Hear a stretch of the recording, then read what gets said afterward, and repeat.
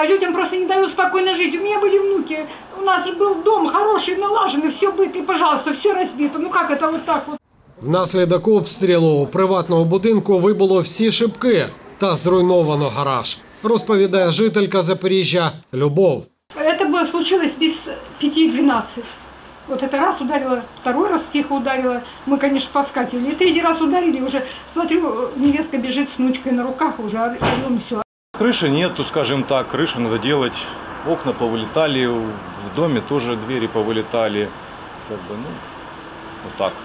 Последствия такие печальные. Найбільш зруйнований внаслідок обстрілу будинок 72-річної Антоніни Сергіївни. Каже, щасливий випадок вберіг від поранень чи смерті. Отошла в комнату, ну, в проеме в двери стою. Как бабахнет, и типа вот таким вот, как вот заревом, и, и во всех вот комнатах, во всех одновременно все полетело. Окно это, оно же большое, здоровое, я ж в окна только успела отойти. За попередніми даними, це був смерч, але далі виясняють відповідні органи. Ми бачимо понівечені е, дахи, вікна. е, Шість будинків постраждали дуже сильно. Міська влада буде е, людям повністю відновлювати дахи будинків. Це міняємо балки, е, в покрівлю, е, ложимо про- профлист.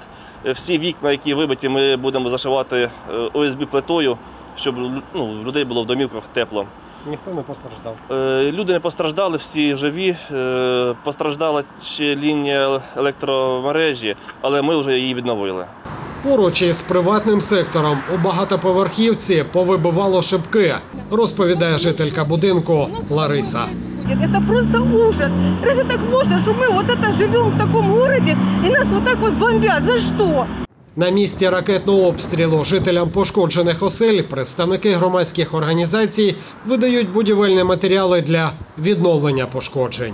Валентин Пересипкін, Владислав Киящук, Суспільне новини, Запоріжжя.